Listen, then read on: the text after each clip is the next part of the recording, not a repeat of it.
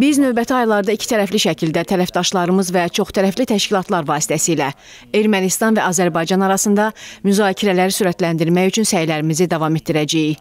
Bunu Amerika Birləşmiş Ştatlarının Dövlət Departamentinin sözçüsü Ned Price bildirib. O həmçinin Soçidə Azərbaycan Respublikasının prezidenti İlham Əliyev, Ermənistan Respublikasının baş naziri Nikol Paşinyan və Rusiya Federasiyasının prezidenti Vladimir Putin arasında baş tutan görüşə də münasibət bildirib. Təbii ki, biz bu görüşün iştirakçısı deyildik. Bu barədə nəsə demək bizə düşməz.